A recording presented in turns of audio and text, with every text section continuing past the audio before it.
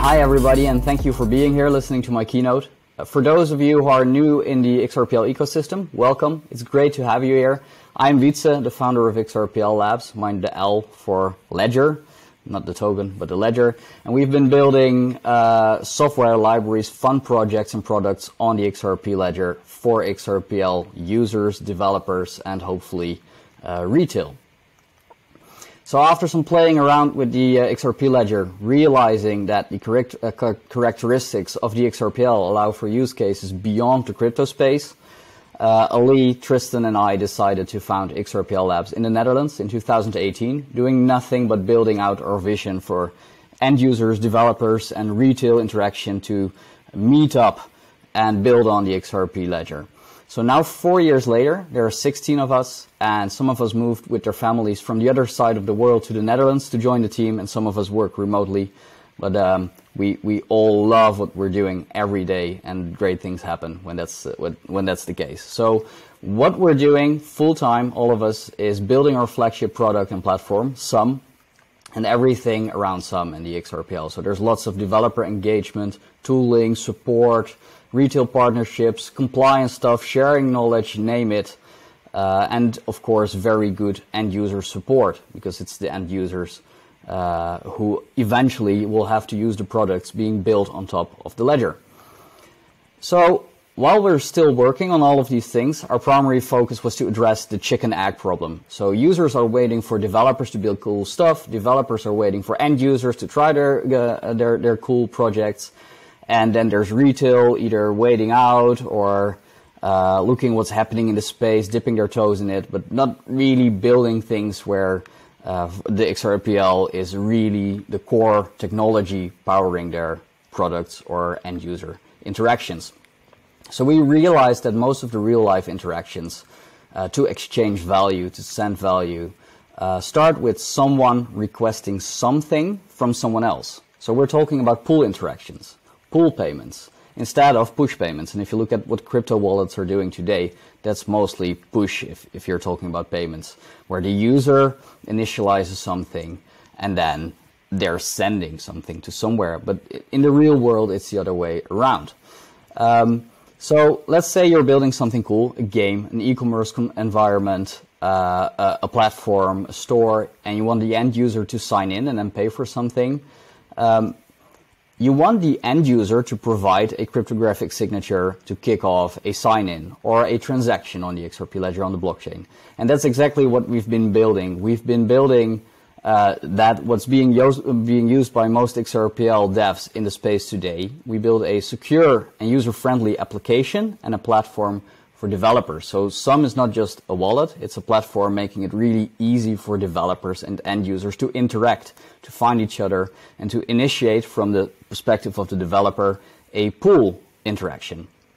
And we, in the meantime, keep everything secure and provide support to the end users. So what powers an amazing tool or platform or app leveraging the good things of the XRPL? So you most likely build a front end, a web page, a web app, a mobile app, a hybrid app, single page web app, SPA, name it. Or it can be a store, a game, a gallery, a toolkit, an existing project that wants to request a payment, mint something, interact with the end user after authorizing them.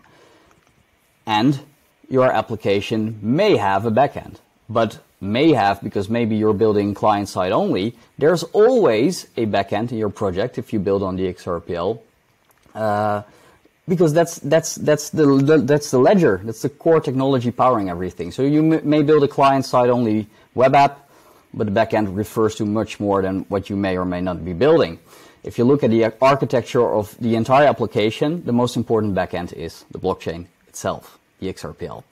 So whether you are running your own node or connecting to a public node or a public cluster, there is always the XRPL as a single source of truth when it comes to identity, value, balances, tokens, and NFTs held. So where does the responsibility lie to keep the keys of the end user safe? Where does security in the sense of key management belong? Who will the end user trust? So yeah, the, the end user will obviously trust the blockchain, the XRPL, because that's the technology they're working with. Uh, but but this cool new app that you worked on for months, will users trust it? Will users trust you as a developer, your application? Do you want the responsibility of keeping your savings, the savings of the end user safe? Are there legal implications? And if the private key in a crypto space is the most important thing a user possesses because it accesses all their funds and things they hold on the chain, um, hence it's a private key, would you even ask the user at some stage using your application to enter one? So key portability is amazing, but how do you prevent everyone from having to port their secret with all the risks involved? So there may be risks in the form of exploits or submodules you use in your code and knowing what's uh, under the hood in those modules. Or there may be keyloggers on the client side, users' devices or browser may be compromised. And this is exactly what we fixed for developers, for end users with Xumm. So early on, we made an important, very important actually decision, and it's still being asked every now and then. Um, do you provide a client for on the desktop a browser plugin? We don't. We build Xumm as an app, mobile only. This is safer. Mobile phones are usually uh, better equipped with hardware security features like secure enclaves, Face ID, fingerprint. They're less easy to fake because a browser plugin may, may be faked by overlaying an existing web page with a fake wallet interface, and users can be tricked into all kinds of things. And phones are also being kept more personal.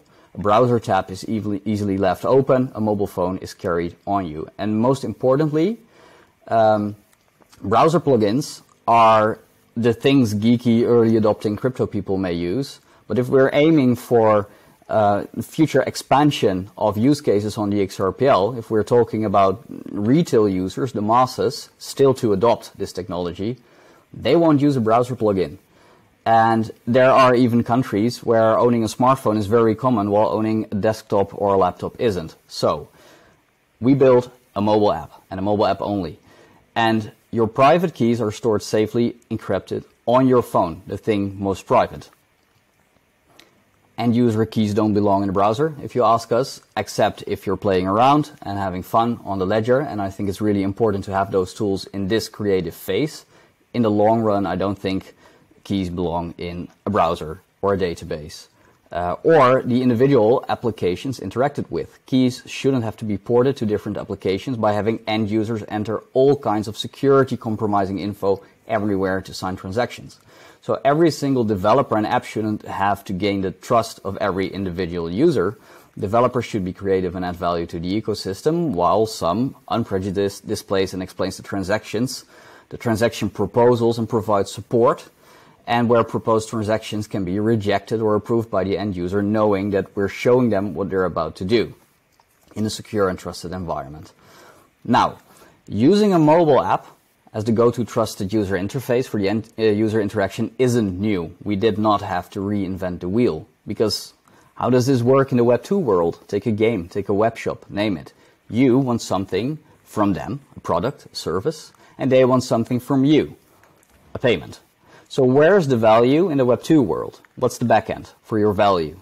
Uh, where's the infra? It's the bank or your payment service provider. And you interact with your bank or payment service provider through their app, through their online banking or payment service provider app. So what if we can provide exactly the same thing that everybody today is already using in the Web 2 world, but then in a Web 3 context? Fully non-custodial, still your keys, still your crypto. So this is what we envisioned in 2017-18. The XRPL ecosystem had nothing like it, and we built it. So the app and the platform allowed devs to tap into an easy integration between the front end and the back end, between uh, whatever the end user wants to use, the developer wants to build, and the blockchain and the Web3 world. So how can developers and end users interact? Well, Xumm can provide a signed identity your XRPL account, your R address for sign in and identification. And sign requests can then be delivered through a QR code, a deep link, if you're going from one mobile app to another mobile app or your browser on your mobile to Xumm and back, and through push notifications if there's a trust relationship between the application of the uh, uh, developer and the end user. So then the, the platform, the, the app the dev build can asynchronously initiate a push notification to the end user and the user can interact with it by signing or declining. And in a variety of environments you're building for the end user. So this is where the title of my keynote starts to make sense. New ways to build on Xumm, because I just shared what we've been doing today and why we've been doing it. I presented the vision I'm now sharing with you in 2018, early stage. We released the first version of our app and platform in 2019, and today we have over 2,000 developers building on our platform, and our app has been installed over 600,000 times by end users all around the world. So new ways to build on Xumm. So what's new? We started out with just having our backend for developers ready for server-to-server integrations. It required a server-to-server backend integration using an API key and a secret. And if you wanted to get a user to sign a payment, you could do so in just a few lines of code. You have a curl request. You can run this in any Linux or OS X Mac environment where you post to our backend and you include your API key and secret. So you only want to run this on your own infrastructure in your backend. And you include a transaction template. A, this is, for example, a payment with a destination and an amount, and you can leave out a couple of fields that are mandatory if you sign locally. So this is quite simple, right? You get yourself some credentials, you submit a transaction template, uh, the JSON you'd also be able to craft yourself. You send it to our platform, and you get to uh, get the end user to interact through a QR, a deep link, or a push notification. That's great. And then we build Xumm more libraries for JavaScript developers, C Sharp developers, Python developers, PHP developers, most common things you see on the web today. We're developers too. We need this as well to build our own stuff. And then later, we added X apps to allow developers to build their own web apps and showcase them straight from Xumm, straight to all the end users with some in their hands.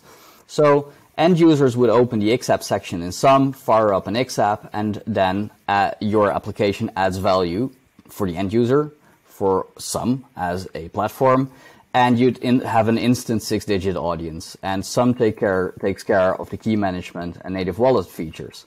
So if you want to allow a user to scan a QR, select and validate a destination account on the XRPL, show transaction details, offer a sign request to reject or sign, you could do so with only uh, a few lines of JavaScript code running on the client side.